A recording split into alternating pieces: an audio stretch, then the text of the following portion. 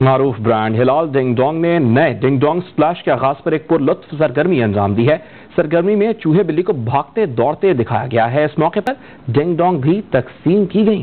सरगर्मी का आगाज़ टी आर स्टंट से हुआ, जहाँ बिल्ली को सी व्यू कायद के मजार के बाहर फेरियर हॉल और चार मीनार में मुख्तलिफ़ तफरी सरगर्मियाँ करते हुए देखा गया।